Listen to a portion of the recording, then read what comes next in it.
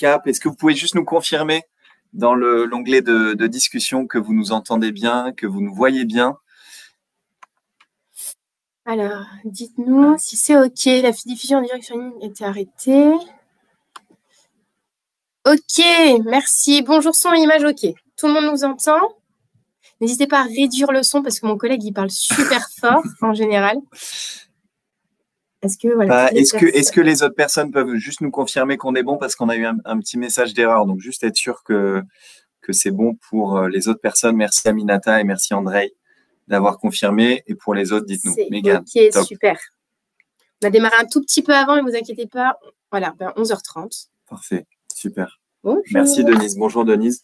Eh ben, on est ravis de vous avoir aujourd'hui. On va parler pendant 45 minutes, une petite heure, d'un sujet qui nous tient à cœur, qui est le sujet du handicap et des actions qu'on peut mener, notamment dans le cadre de la semaine du, du handicap SEEPH, qu'on va vous, vous, présenter. On va essayer de vous donner des actions euh, un peu concrètes que vous pouvez euh, déployer en entreprise pour vos salariés.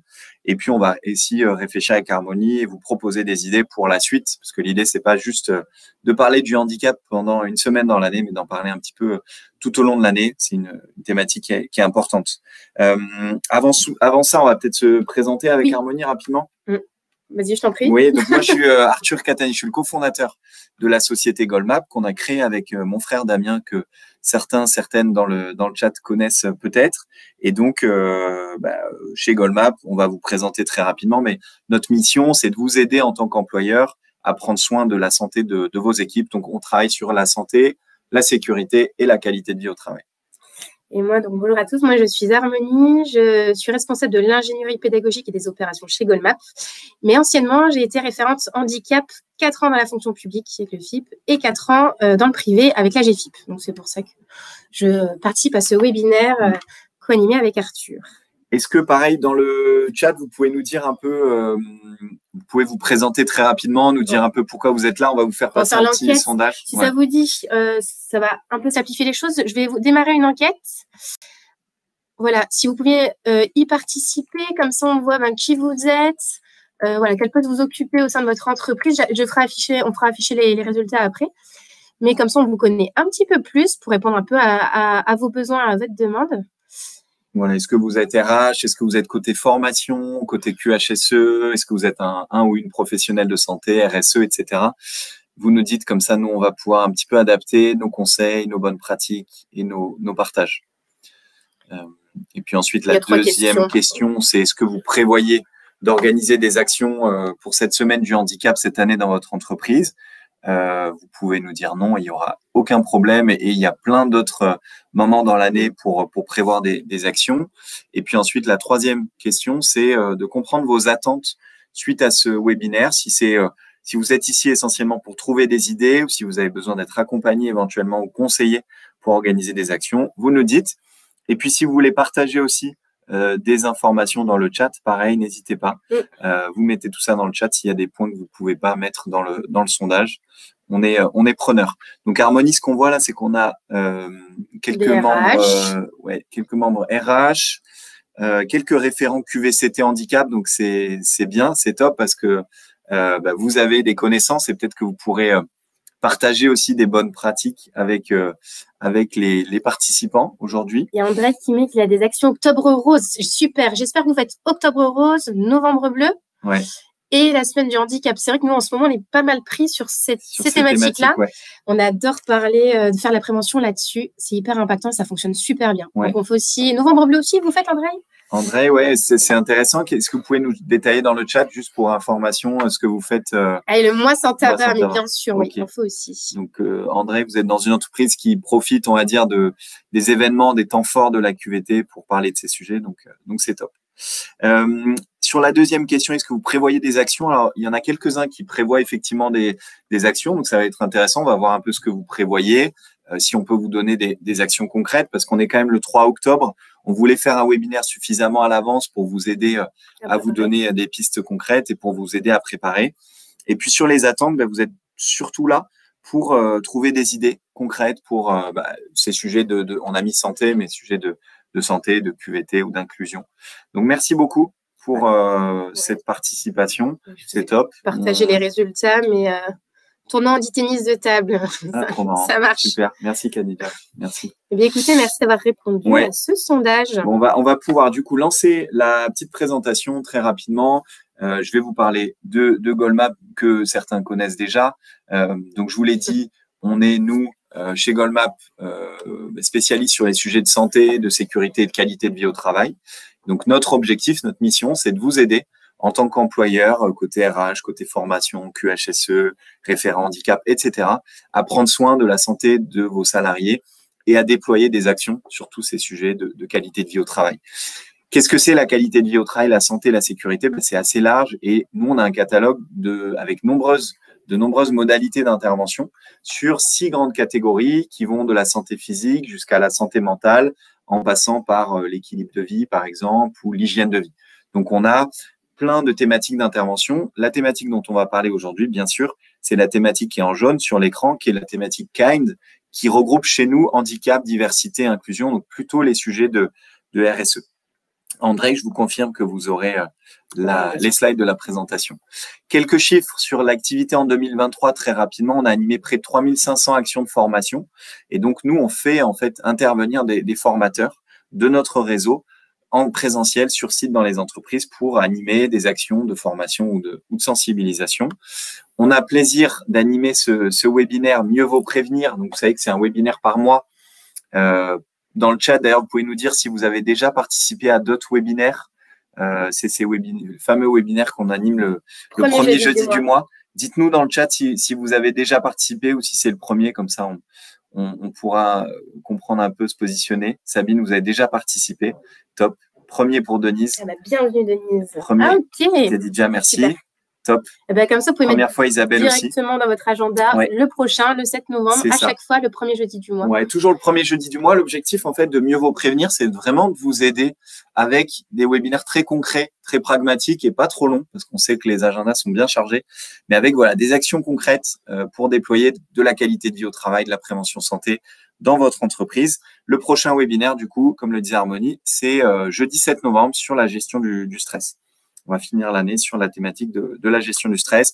On a animé plein de webinaires en 2023, en 2024, et on essaye d'aborder les grands sujets de la QVT, donc euh, euh, l'éveil musculaire, la semaine du handicap, comment on fait des managers, des champions de la politique de prévention. Tout ce que vous avez à l'écran, c'est des webinaires qu'on a animés et que vous retrouverez donc sur notre chaîne YouTube. N'hésitez pas à y faire un, tour. Il y a tous les replays. Donc, euh, si vous avez un petit moment, vous pouvez aller regarder les replays de ces webinaires qu'on a animés pour vous. Au programme de ce webinaire, on va faire un petit point sur le handicap, bien sûr, euh, pour essayer de, à travers un quiz notamment, de, mm. comprendre un peu de quoi on parle. On va vous donner quelques conseils pour l'organisation de votre semaine du handicap. Et nous sommes en 2024. Et on est en 2024. Et pas en 2023. Désolé pour, c'est mon euh, mon erreur. coquille. On va vous parler très très rapidement de certains cas clients. L'objectif, c'est de vous donner encore une fois des exemples concrets pour que ça vous donne euh, des pistes, voilà, que vous pouvez aborder ensuite vous en interne. Et puis après, on va essayer de se poser la question de l'après semaine du handicap pour voir sur cette thématique du handicap et de l'inclusion euh, ce qu'on peut faire, ce que vous pouvez faire en entreprise euh, pour, pour travailler sur ces sujets. Euh, je te laisse harmoniser sur ce point. En gros, moi, je suis le côté technique et euh, Arthur, le côté organisationnel, on va dire. Euh, si on fait un petit zoom sur la SEPH, donc vous connaissez, donc ça a été créé hein, cette semaine européenne pour l'emploi des personnes handicapées sachant qu'on peut aussi intervenir au Luxembourg et en mm. Belgique et en Suisse. Hein, ça, on le fait aussi. Donc, depuis 97. Cette année, à noter dans votre agenda également, du 18 au 24 novembre, euh, et on est sur cette thématique-là. Chaque année, on change. Hein, handicap et parcours professionnel, comment assurer une vraie égalité des chances. C'est vraiment la thématique. Donc, le but, c'est vraiment comment est-ce qu'on intègre, comment est-ce qu'on maintient une personne en situation de handicap. Et forcément, comme tout euh, salarié, il y a ben, des, droits, des droits justement de, euh, progression, justement pour par rapport à son parcours professionnel. Donc ça, c'est la thématique de cette année. Et après, donc, pourquoi est-ce qu'on propose en fait une semaine européenne pour l'emploi des personnes handicapées? Bah, Forcément, vous savez que ce sujet-là, d'ailleurs, vous pouvez nous mettre dans le chat pour partager un peu vos expériences. Vous savez que c'est souvent un sujet tabou. C'est souvent un sujet où euh, bah, qui a plein de préjugés autour. Donc, il faut un peu abattre ces préjugés, aller au-delà de, euh, de ce qu'on peut connaître. On parle souvent du dossier RQTH qui est lourd, qui est fastidieux à remplir, qui est long, qui ne sert à rien. Aussi le handicap invisible, oui André, effectivement, 80%, ça on le souvent, hein, il y a ce chiffre-là, 80% des personnes qui sont en situation de handicap, en fait, ça ne se voit pas. Mm. Ça, la GFIP et le FIP nous sortent chaque année ce mm. chiffre et ça ne bouge toujours pas. Donc, euh, il y a aussi un côté renforce, euh, de renforcer la cohésion d'équipe. Bah, forcément, le but, c'est pas de, parce qu'on parle toujours d'égalité. En fait, au-delà de l'égalité, c'est vraiment un côté inclusif qu'il mm. faut. C'est vraiment faire partie du groupe comme une personne à part entière. Et ça, il y a encore beaucoup d'efforts à faire là-dessus.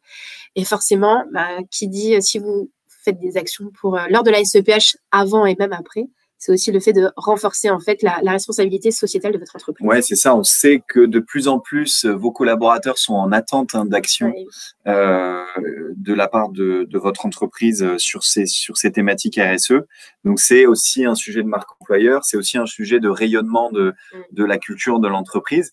Et puis on est persuadé nous chez Goldmap et puis je pense comme de nombreux acteurs de, de ce marché que ces, ces différences-là, elles peuvent être une source de, de richesse, une source de performance collective euh, pour l'entreprise. Donc, c'est pas uniquement pour le salarié, c'est aussi dans l'intérêt de l'entreprise de participer à cette initiative de, de semaine européenne pour l'emploi des, des, personnes handicapées. Du collectif, exactement. Alors, si ça vous dit de, de répondre dans le chat, euh, il y aura cinq, cinq questions pour vous.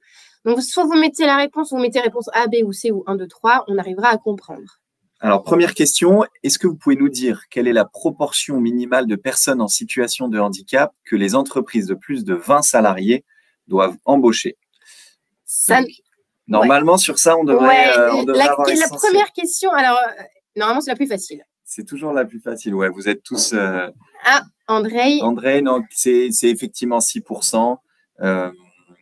Aurore, Maxime, Isabelle, etc. Vous avez, vous avez juste ces 6% des collaborateurs à partir d'une taille, donc au-delà de 20 salariés. Euh, de 20, voilà, 20 équivalents temps plein, euh, c'est 6%. Euh, D'ailleurs, vous pouvez nous dire dans le chat si vous avez dans votre entreprise ces 6%-là. Parce qu'on est d'accord que les personnes qui n'ont pas les 6% ben, payent une forte contribution hein, à soit la GFI pour le privé, au FIPHFP pour le public et même à l'OETH pour le secteur sanitaire et social. Donc, Donc vous êtes pas mal à nous dire non. Radija, Camille, oui. Aminata, non. Euh, et ça, c'est un gros enjeu. Aurore, non. autant pour les personnes qui sont en situation de handicap et qui. Euh, ah non, mais je suis en Belgique. Ah, c'est Sabine, En, en, Belgique, est-ce qu'il y a ce système d'ailleurs de, cotation De quota, ouais. Bah, ça, on ne sait pas. Malgré nos efforts. non. Ah, Manon, on peut peut-être vous accompagner là-dessus parce que euh, moi, je sais que j'œuvre pour cette action mm. depuis pas mal d'années c'est encouragé. Et, donc Manon, vous êtes en France, hein, je pense. Vous dites malgré nos efforts, non? C'est-à-dire que malgré l'effort de de l'entreprise, votre effort, l'effort de votre, de votre de votre équipe, vous n'avez pas forcément ces ces 6%. Euh, mais donc ouais, c'est un travail du quotidien.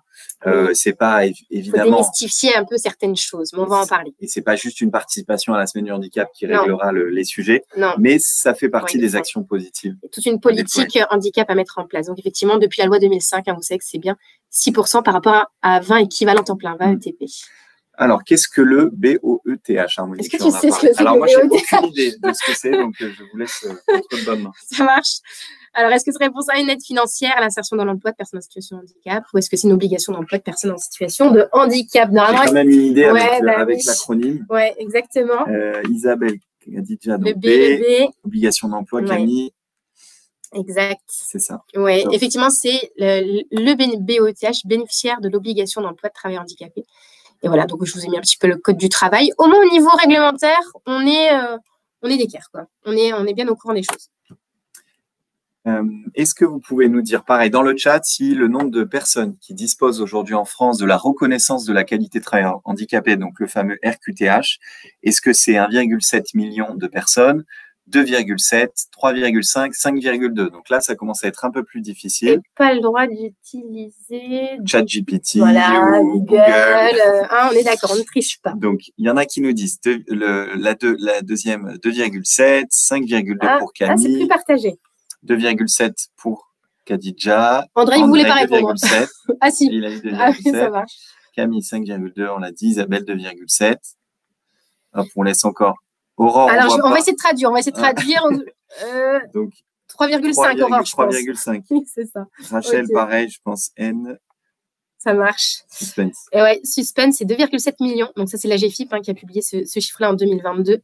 Euh, voilà, 2,7 millions de personnes qui disposent de la RQTH, hein, la fameuse reconnaissance en qualité de travailleur handicapé, sur 12 millions de personnes en situation de mmh. handicap. D'accord? Alors, ces personnes en situation de handicap ne sont pas forcément des travailleurs handicapés, ça peut être aussi des étudiants.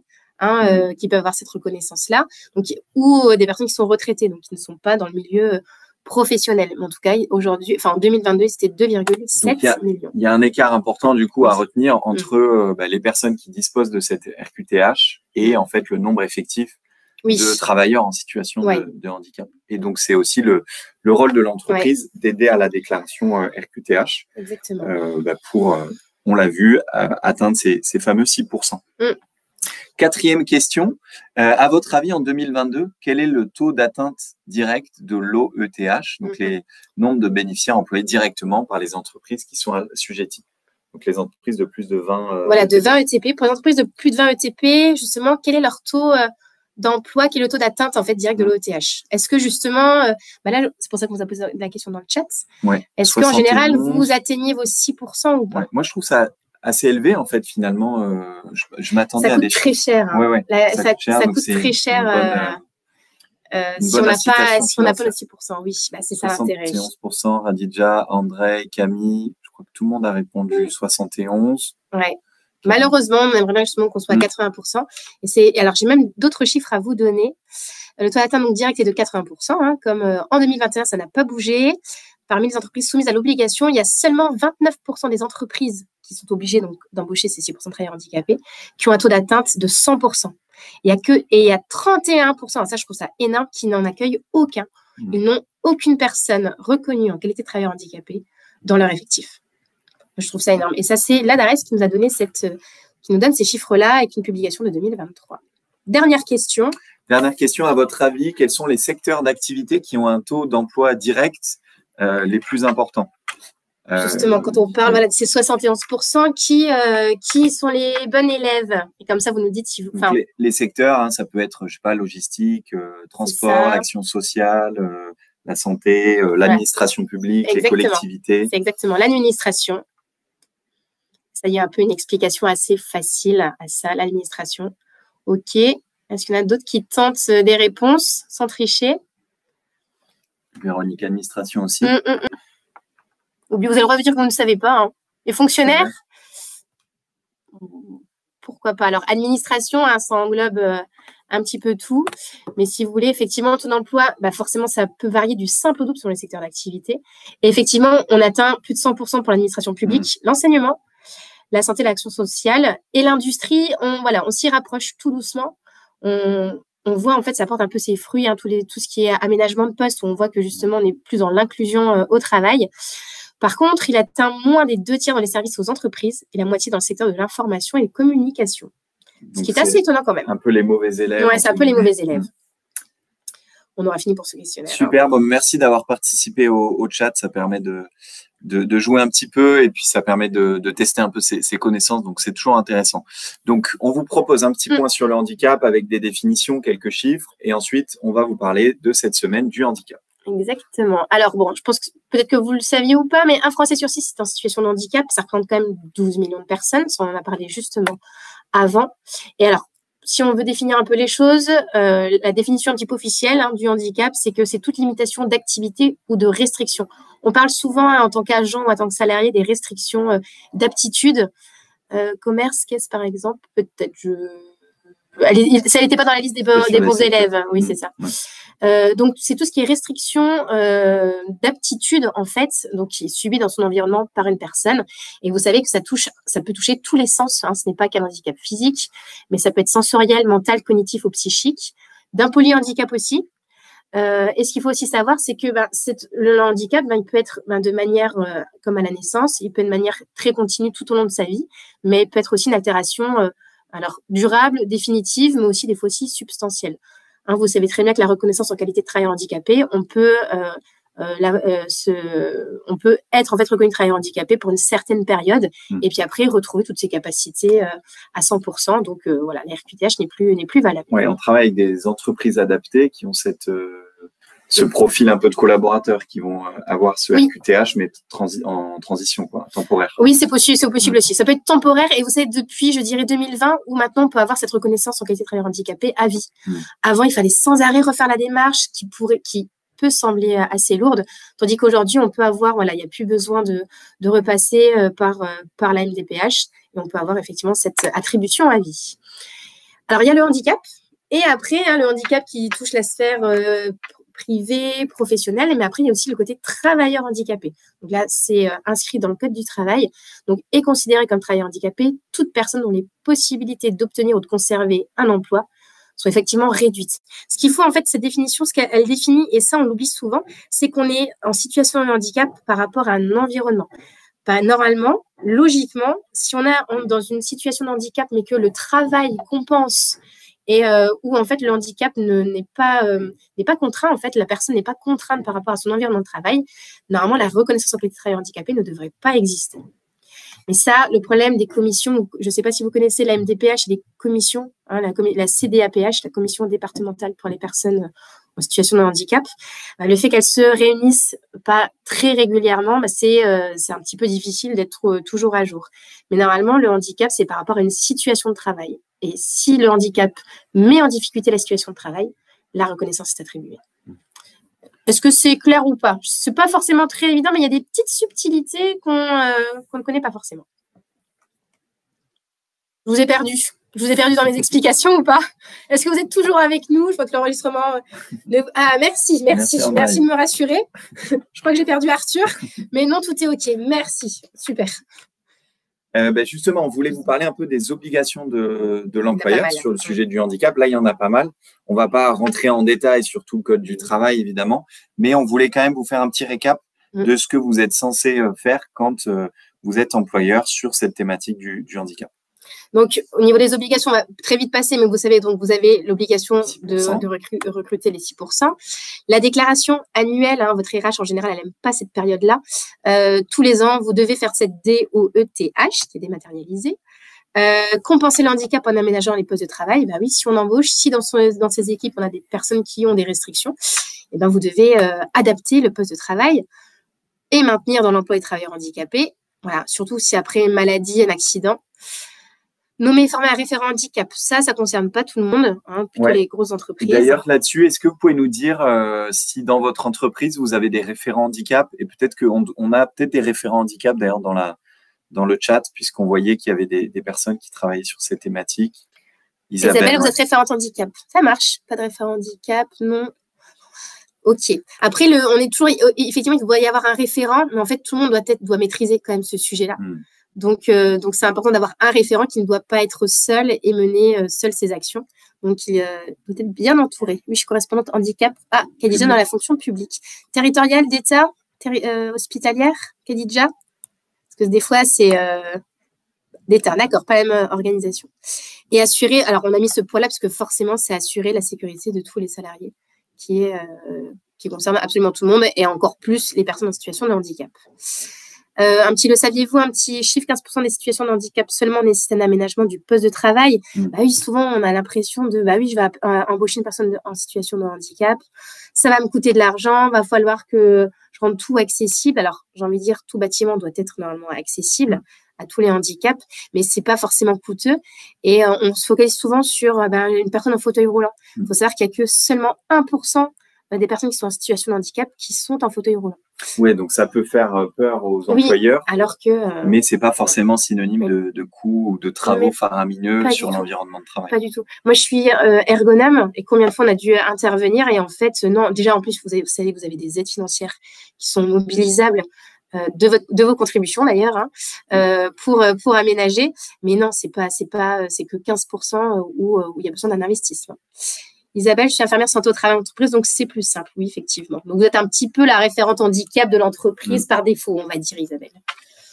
Est-ce que c'était clair pour vous sur ces, euh, sur ces définitions, sur ces quelques, quelques chiffres Vous nous dites, et comme ça, on peut enchaîner sur, euh, sur la semaine du handicap, sur l'organisation.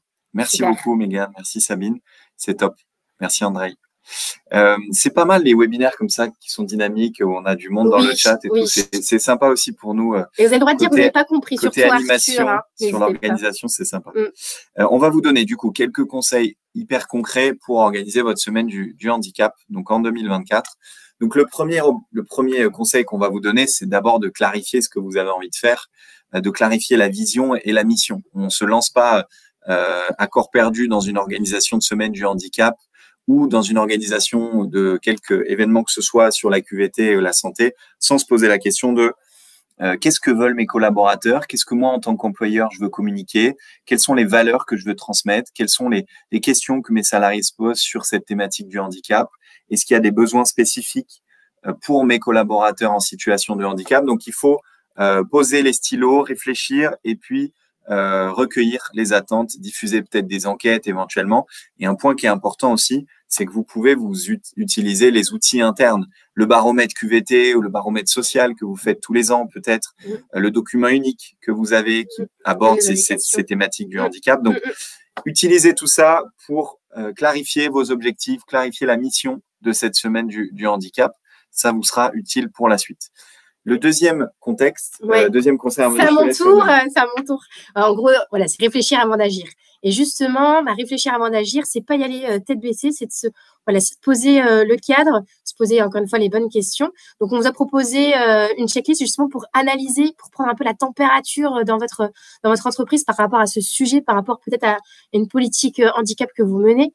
Donc, savoir là quels sont vraiment les objectifs, alors, un, moi, je connais bien les, on connaît bien les entreprises. Hein, les objectifs, c'est et de réaliser cette cohésion d'équipe, de maintenir en emploi les personnes en situation de handicap, hein, parce que pour éviter un turnover, un absentéisme aussi. Mais c'est surtout, voilà, c'est aussi d'atteindre ces 6% de mmh. travailleurs handicapés, donc bien communiquer dessus. Et c'est vrai que voilà, c'est vraiment un sujet euh, très important et, euh, pour nous qui nous tient à cœur. C'est aussi quel budget vous pouvez euh, allouer? Est-ce que vous devez vous en occuper seul? La réponse, je vous la donne tout de suite, hein, c'est non. Hein. il faut toujours forcément être entouré, alors mmh. soit personne extérieure, soit au moins un appui, euh, parce que seul. Euh, Des collègues, un groupe de travail en interne sur ces thématiques. Même les personnes directement qui sont concernées. Et puis voilà, savoir quels sont les profils. Là, par exemple, je sais qu'il y a un client qui m'a demandé de faire une action spécifique pour, euh, sur le diabète. Parce que le diabète, c'est des personnes qui sont reconnues aussi en, situation de handicap. Et eux, ben, dans leur effectif, il se trouve qu'il y a beaucoup de personnes qui sont diabétiques. Et donc, se dire, ben voilà, on va peut-être plutôt faire un focus dessus. Comme ça, on voit bien qu'on les prend en compte. Et on essaie de faire comprendre aux autres collègues euh, ce qu'ils vivent au quotidien.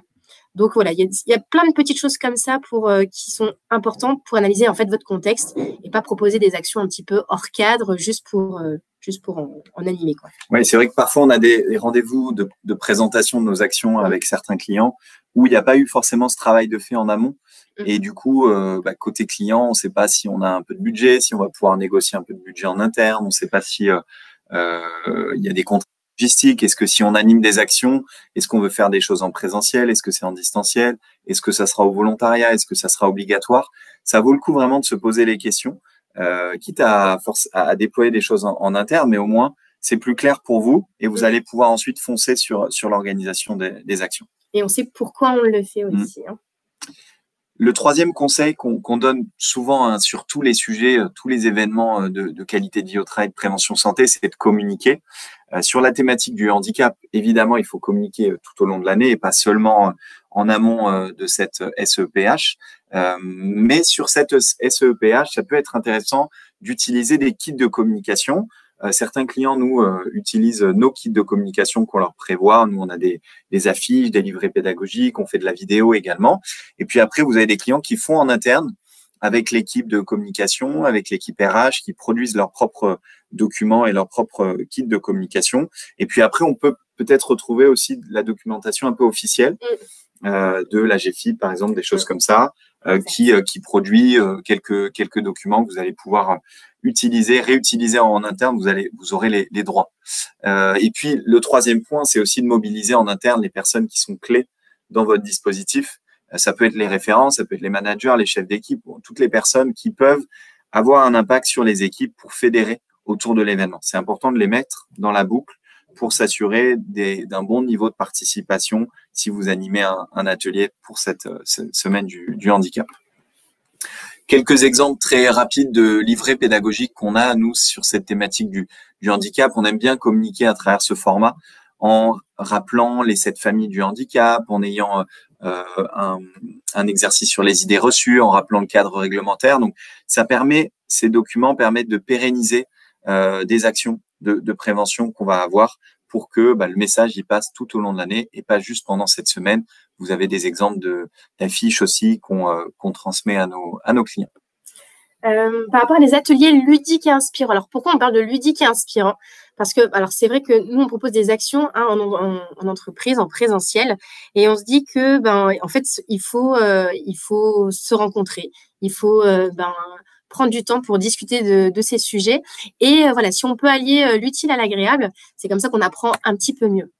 Donc c'est vrai que nous on propose par exemple des conférences euh, inspirantes autour du handicap avec des figures emblématiques. C'est vrai qu'on travaille avec des anciens sportifs de haut niveau qui ont participé par exemple aux, Jeux paralympiques et qui, ben, on c'est dans la thématique, hein, qui sont vraiment inspirants, qui vont partager un petit peu leur leur parcours, qui ont forcément fait preuve de résilience et euh, moi, je trouve ça hyper touchant. Et au moins, on, se rend compte que, bah, que le handicap, finalement, n'en est pas un. Et puis, ça partage des valeurs qui sont importantes mmh. pour le collectif aussi. Donc, au-delà du handicap, c'est euh, l'ouverture à la différence, c'est euh, la résilience. Mmh. Justement, cette, ce conférencier qui est un ancien euh, sportif de, de, haut niveau nous parle de la relation qu'il avait avec son guide, puisque c'est un coureur aveugle.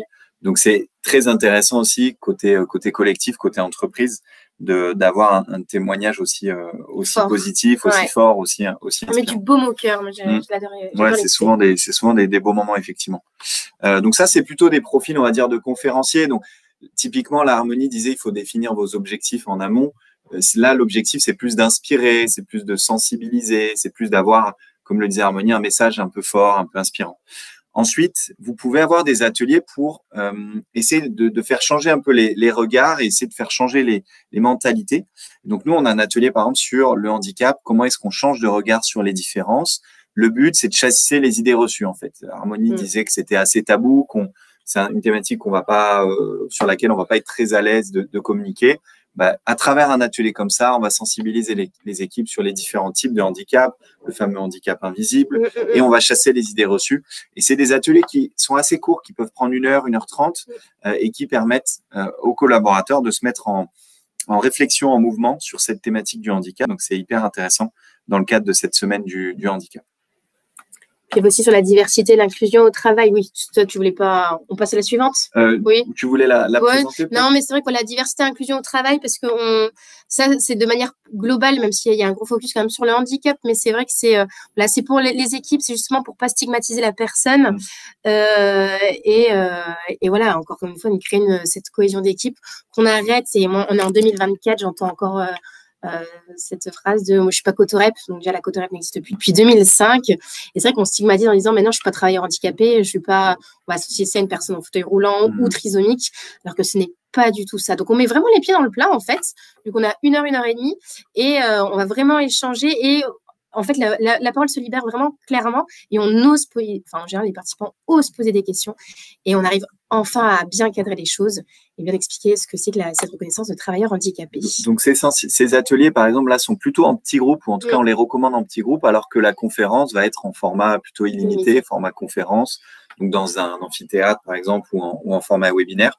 Alors que sur ces ateliers-là qu'on vous présente, qu'Harmonie vous a présenté. On est sur du petit groupe parce qu'on veut échanger, on veut interagir, on veut que les gens participent. On n'est pas sur un format qui est, descendant.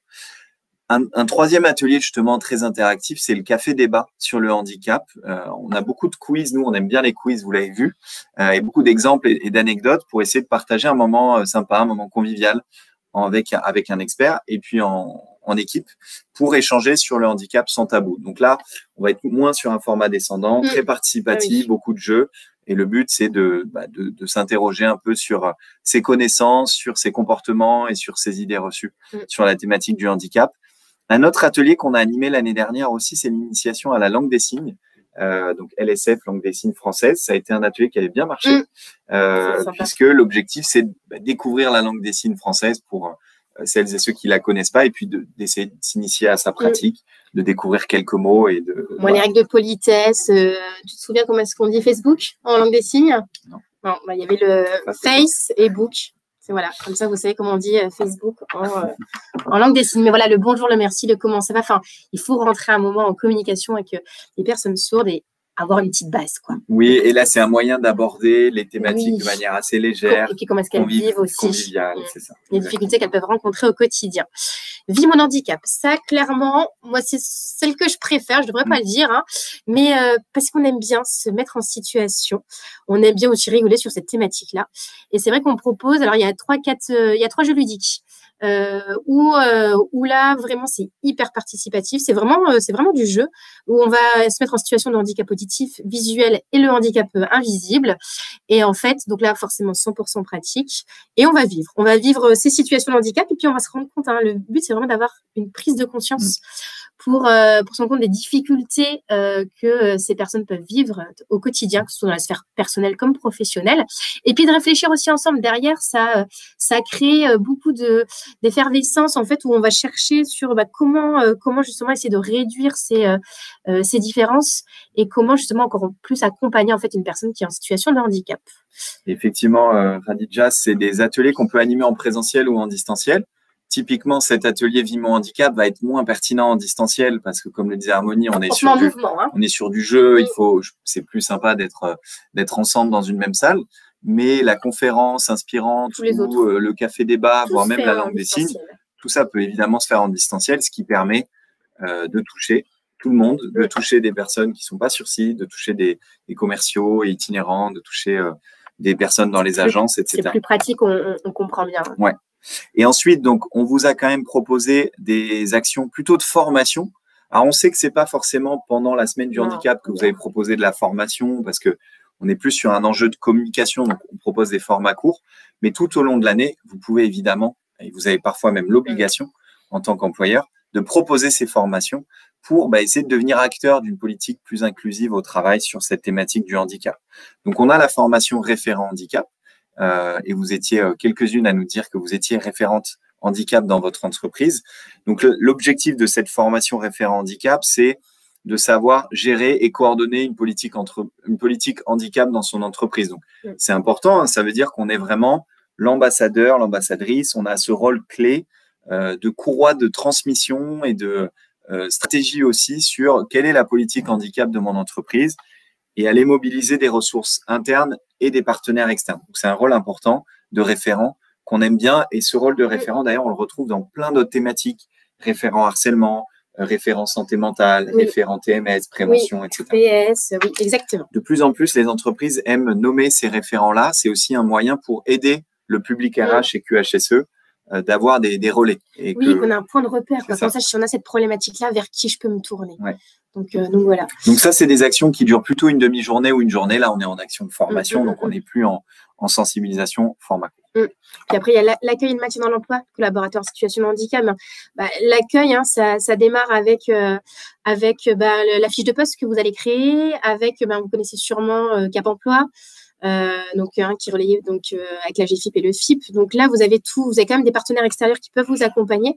Et nous, dans ces dans ces formations-là, on évoque tout ça et on, on parle de, stratégiquement, voilà, comment est-ce qu'on peut faire pour euh, bah, pour atteindre ces 6% hein, de travailleurs handicapés. Et après, dernier atelier qu'on aime bien animer, alors en formation voire même parfois peut-être un peu plus court pour un comité de direction ou des choses comme ça. Là, c'est vraiment d'être sur la construction de la politique handicap inclusive. Donc là, on prend un pas de, de recul, on, se retire un petit peu et puis on essaye de définir une politique handicap. C'est quoi la politique handicap de, de mon organisation et comment je vais pouvoir ruisseler auprès euh, de mes équipes, de mes managers, des RH, etc.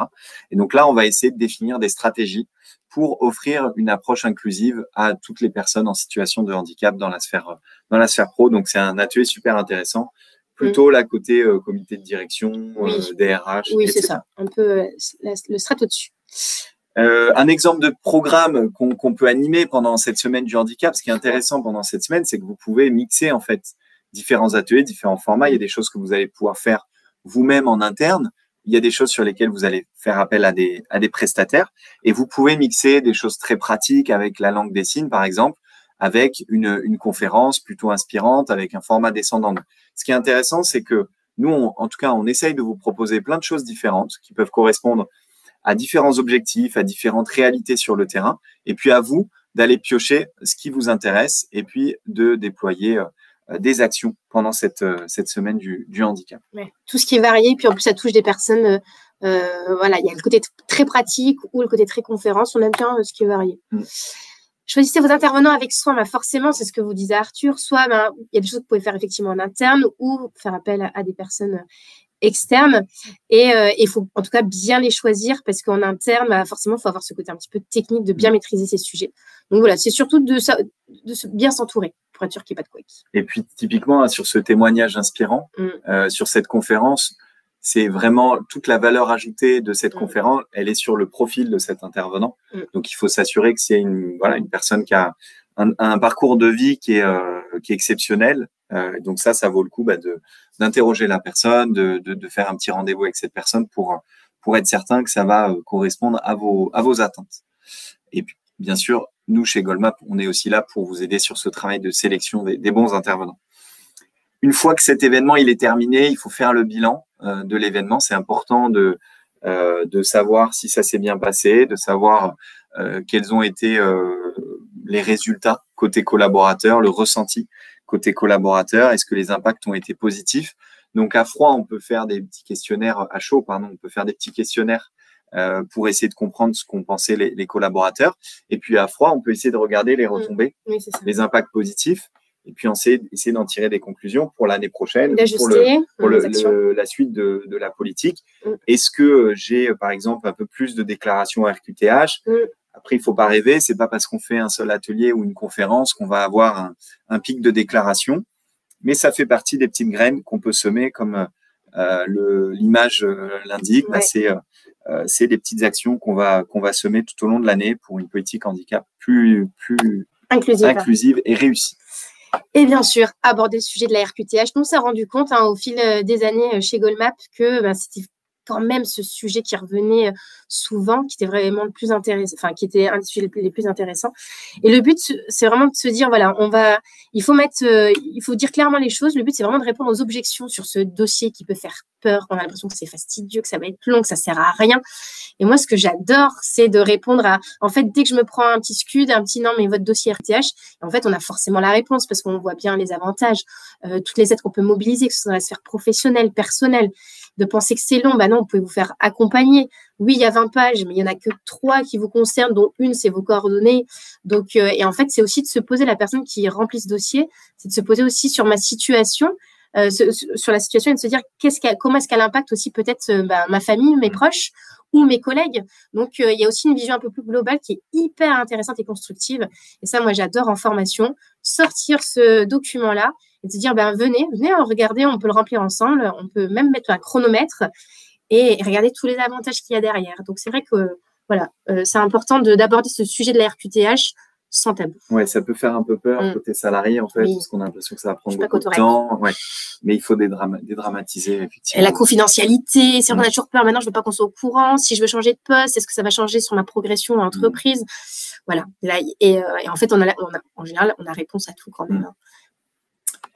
Euh, voilà un petit peu pour les pour les idées euh, concrètes quand euh, bah, qu'on vous propose mm. pour pour bien organiser votre semaine du handicap et pour communiquer sur le handicap tout au long de l'année. On a certains nous clients qui ont déployé des actions dont on voulait vous vous parler très rapidement. Et puis ensuite, on vous parlera de l'après semaine du handicap parce que c'est important aussi de voir ce qu'on peut ce qu'on peut déployer. Euh, nous, on accompagne, vous savez, tout type d'entreprises, hein, à la fois des, PME, des entreprises de taille intermédiaire et puis des, grands comptes de l'administration publique, sur toutes les thématiques santé, sécurité, QVT. Et sur ce, cette thématique du handicap, on a accompagné, on a eu le plaisir d'accompagner les, les, entreprises que vous avez à l'écran, euh, justement pour sensibiliser leurs collaborateurs, pour inspirer leurs collaborateurs à travers euh, bah, toutes les actions qu'on vous a présentées, la conférence, les ateliers ludiques de langue des signes, euh, des euh, jeux de sensibilisation au handicap euh, dont parlait Harmonie. Donc l'idée, ça a été pour chacun de ses clients de proposer ces différentes actions et puis de voir ce qui était pertinent en fonction, encore une fois, des objectifs de nos interlocuteurs, du profil des collaborateurs, du budget, des contraintes terrain, des contraintes logistiques, du délai qu'on pouvait avoir pour organiser tout ça. Donc, on a eu le plaisir d'animer ces différentes actions pour, pour nos clients. Côté après SEPH, je te laisse Harmonie parler de, de tout ça. Ok, ça marche. Je vais vous parler de après. Ça doit être un fil rouge. On est d'accord que c'est pas une seule euh, semaine dans l'année. Le handicap, malheureusement, c'est au quotidien. Donc, c'est de dire non, c'est pas l'affaire d'une semaine. Et, pourquoi pas des fois aussi dénoter. Moi, j'aime bien les entreprises qui dénotent en disant, bah, nous, on va faire la semaine d'après mm. ou la semaine d'avant. Mais euh, bah non, en fait, ça doit être un, peu un, fil rouge. Hein, ça doit être une vraie politique euh, à mener euh, dans votre quotidien. Donc voilà, après, voilà, il y a des, il y a des moments peut-être plus opportuns que, que d'autres, mais c'est important euh, de. De toute façon, vous, êtes, vous faites avec vos équipes. Hein, cette obligation de 6% de travailleurs handicapés, bah, vous, l'avez, vous devez la déclarer chaque année. Donc c'est un travail de longue haleine. Comme disait Arthur, c'est pas en une seule fois qu'on va avoir plein de, on va récupérer plein de dossiers de RQTH, mais c'est, bah, c'est en continuant à, à, communiquer, en faisant changer un petit peu les mentalités, euh, en se confrontant aussi des fois à cette problématique que qu'on fait bouger un petit peu les choses. Donc, pas que, euh, pas que du 21 au 24 novembre. Alors justement, comment est-ce que tu peux, euh, enfin, c'est quoi tes idées, toi, pour euh, bah, diffuser ça tout au long de l'année? Excusez-moi. on n'a pas assez bougé.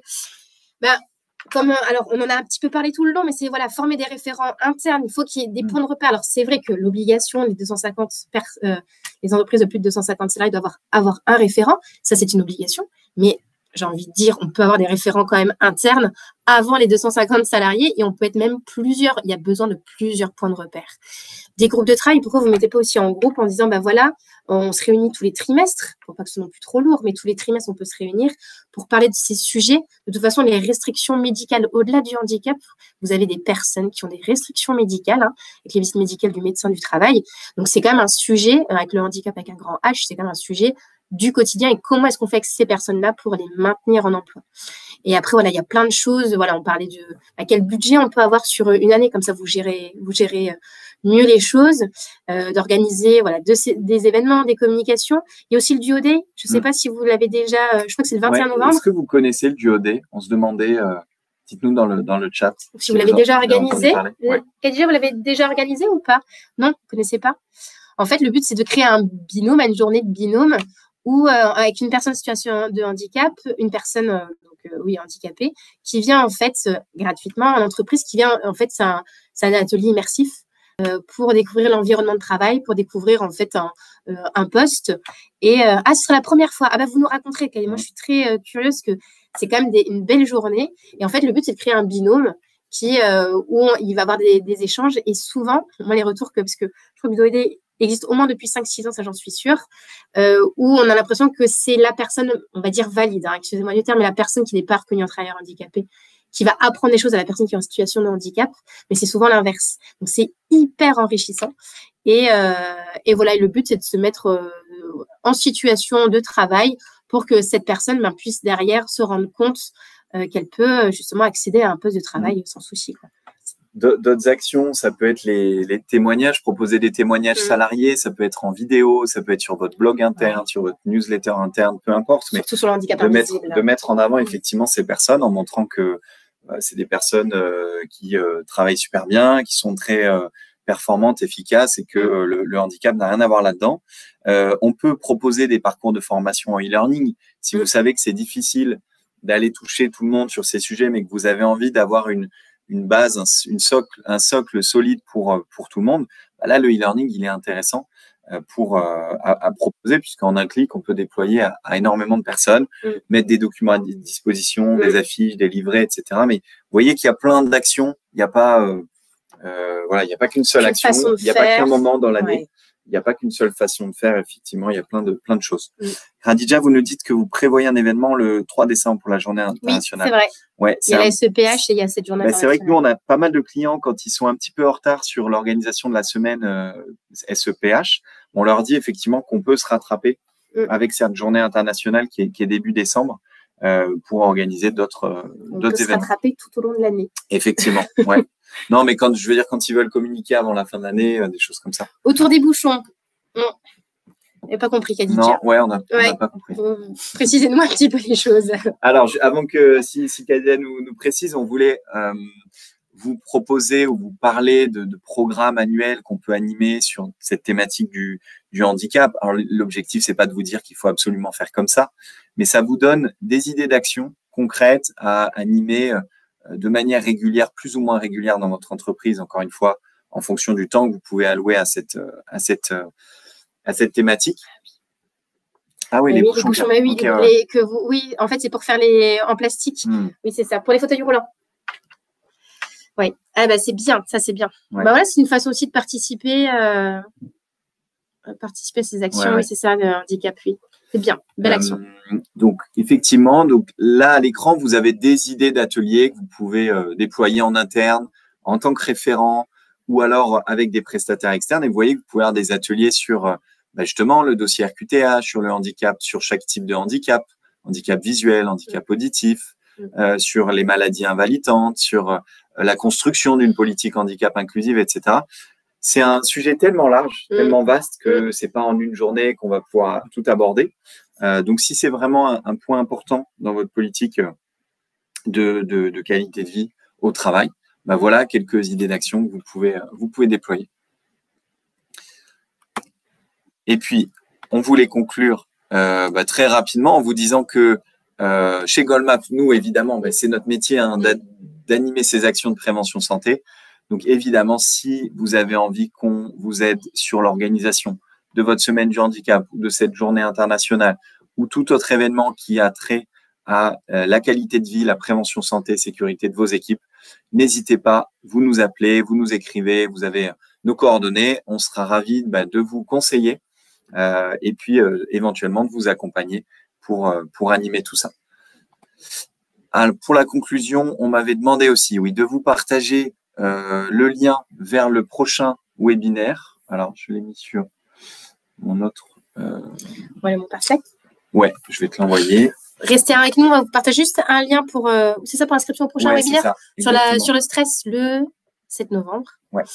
Euh, même format, même formule, c'est toi qui l'anime A priori, ouais. C'est moins rigolo hein, si je suis seul, mais c'est pas grave. Donc, prochain webinaire, on a dit jeudi 7 euh, novembre, je crois, sur la thématique de la gestion du stress. Euh, et n'hésitez pas à jeter un coup d'œil. Donc, sur cette page, vous aurez euh, la mise à jour une mm. fois qu'on aura défini les prochaines thématiques. Si vous avez d'ailleurs des idées de thématiques que vous aimeriez qu'on aborde, n'hésitez pas. Vous pouvez nous envoyer un petit mail, un petit SMS si, mm. si on, on, se connaît déjà et on sera, on fera un plaisir d'animer tout ça. Et puis, un autre lien que je voulais vous partager aussi, c'est le livre blanc euh, qui avait préparé notre équipe euh, marketing sur le, la semaine du handicap. Donc c'est un peu le récap de tout ce qu'on vous a proposé aujourd'hui, mais en format livre blanc. Euh, donc n'hésitez pas à aller télécharger ce document. Ça peut vous être utile. Vous pouvez le partager aussi avec vos collègues. Comme l'a dit Harmonie, il faut pas que vous soyez seul en fait sur l'organisation de tout ça. Il faut, il faut vous, vous appuyer sur vos managers, sur les référents, sur le groupe de travail, etc. André, on vient de vous envoyer le pour vous inscrire dès le départ comme ça. Si vous êtes inscrit, vous avez, on vous renvoie un petit récap, enfin un petit, euh, euh, une petite notification pour euh, oublier, pour ne pas oublier cet événement. Thématique moi sans tabac. Alors André, c'est c'est marrant, c'est un sujet qu'on trouve évidemment hyper intéressant parce que ça a un impact sur la santé très très fort. Euh, mais c'est un sujet sur lequel on nous demande beaucoup moins d'actions. Mm. Mais on fait des choses. Hein. De la part de notre entreprise, on propose effectivement des actions. Donc c'est pour ça qu'on le propose pas en webinaire parce que c'est pas, ça fait pas forcément partie des actions sur lesquelles euh, on déploie énormément de, de, de prestataires.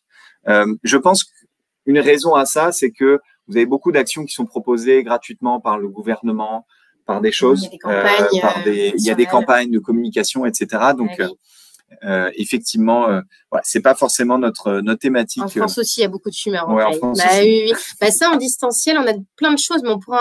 Mm. Prenez, vous avez les coordonnées d'Arthur, n'hésitez pas à le solliciter. Pas, vrai, vous, vous m'écrivez. c'est Arthur, hein, ouais. Et euh, on peut vous accompagner en distanciel sans souci, ou moi je peux venir au Maroc, il n'y a pas de problème. Euh, bah voilà, merci beaucoup d'avoir participé à ce webinaire. Ça a pris un petit peu moins d'une heure, donc on va vous laisser euh, partir pour votre pause déjeuner tranquille. On a été ravis avec Harmonie de vous donner bah, des actions euh, concrètes.